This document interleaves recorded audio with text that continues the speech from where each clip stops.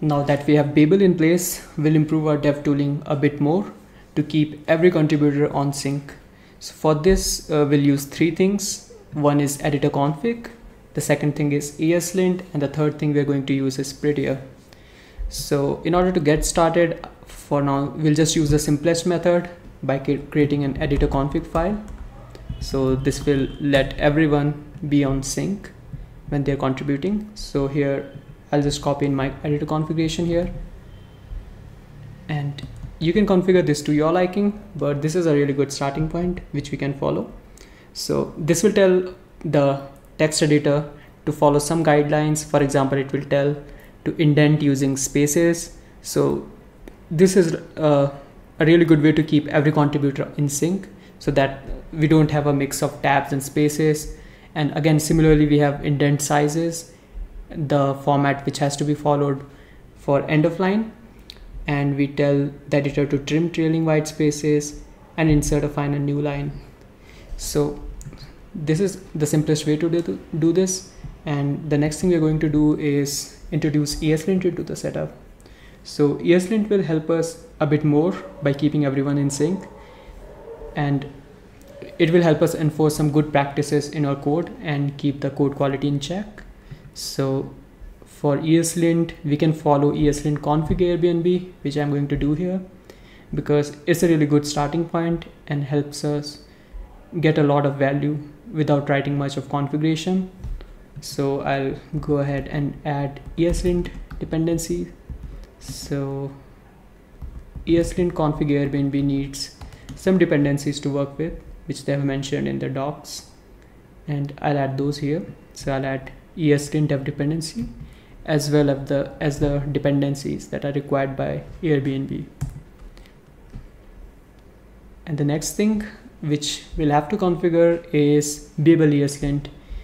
So we configured Babel for code to work right now using Babel 7, but there's no way for ESLint to read that code. So Babel ESLint is a parser which will tell ESLint to follow this uh, Babel configuration and parse it correctly in order to lint it. So we can go ahead and add a dev dependency for Babel ESLint as well. Nice. So ESLint is installed. So we can go ahead and create a configuration file for ESLint. So usually you want this to be at the root of your project. So ESLint rc.js and here we can provide some helpful rules which will tell that editor to show these up in the console as well as when you run your linting check. So these this will help further keep keep the code quality in check because everyone will be following a similar guideline. So I just pasted in my ESLint configuration file here. And as you can see in the parser section, I have specified Babel ESLint, which I just installed as a dependency. And in the plugins, I specified React and Prettier. So Prettier will, will be configuring after this step. And ENV I have specified browser and extended the Airbnb configuration as well as the prettier configurations here. So this will let prettier and ESLint work together very well. So I recommend this to add these like it's it makes really simple to work with these tools. So next I'll go ahead and install prettier into the code base. So we can do that in a similar way add a dev dependency for prettier so I'll go ahead and add it as a dev dependency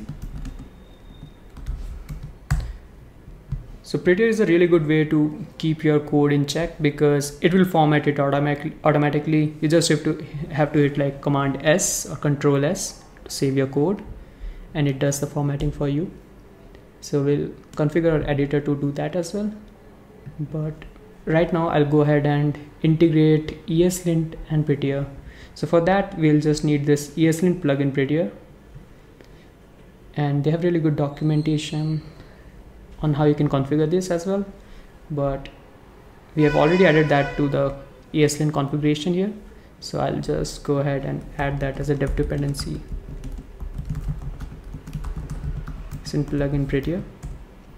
so great now this is added so now that prettier is also installed I can go forward and create a configuration file for prettier as well so I'll, let's call it prettier rc.js it works in a similar way as ESLint configuration and they have some good number of options that we can provide.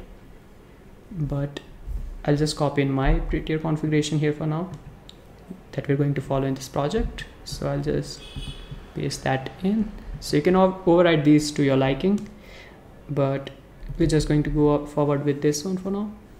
So this is installed. So now that ESLint and Prettier both are installed we can add a script into our package.json to verify it's working. So I'll go ahead and add a lint script here. So let's call it lint. And here I'll just do eslint dot. So let's see if it works. So in my terminal I run yarn lint. And I've got some errors here. So let's see so cannot find module eslint config prettier so we added that into the eslint configuration but we didn't install it as a dependency. So I'll just go ahead and add this as a dependency as well. Yarn eslint config prettier so I'll do yarn add hyphen d. Eslint config prettier great. Now that this is installed let's see if the script work so I'll just run yarn lint again. And great. So I've got some good number of messages here. So ESLint is linting all the files right now and it's showing the appropriate errors.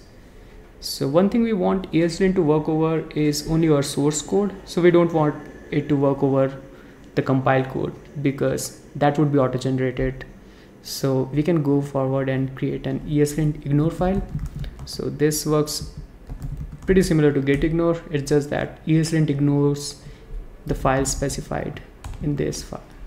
So I'll just add node modules and lib as well. So I'll hit save. And now I'll run my lint command again. Great. So now we have got error only in the src file. So if you have the uh, extension installed for a text editor you can also see the errors as helpful messages in the code itself. So it really helps uh, keep everyone in check on what they're committing and putting into the code. So ESLint is working fine now and we can go forward and configure prettier as well into the code. So I'll the, so one way to do that uh, really well in VS Code is by creating a workspace settings.